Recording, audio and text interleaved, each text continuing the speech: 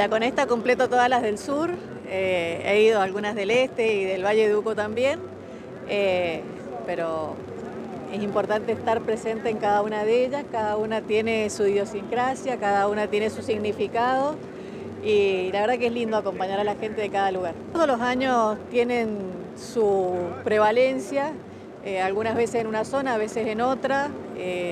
este año nos ha tocado más al sur que, que al resto. Eh, y cuando no, es la helada, es la, piedra, ya sabemos cómo, cómo es esto.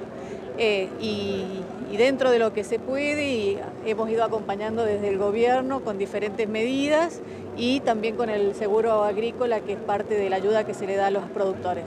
Se está intentando equilibrar las cuentas y en ese equilibrio de las cuentas, bueno, se han recortado un montón de cosas que estamos viendo cuáles son las que afectan a la provincia, como por ejemplo el subsidio al transporte, no sabemos si va a venir el, el FONADI, que es el de incentivo docente.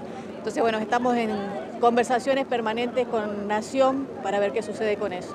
¿Tienen interlocutores con la Nación, Eve? Eh, en algunos ministerios sí, en otros todavía no están determinados o todavía no tienen firma.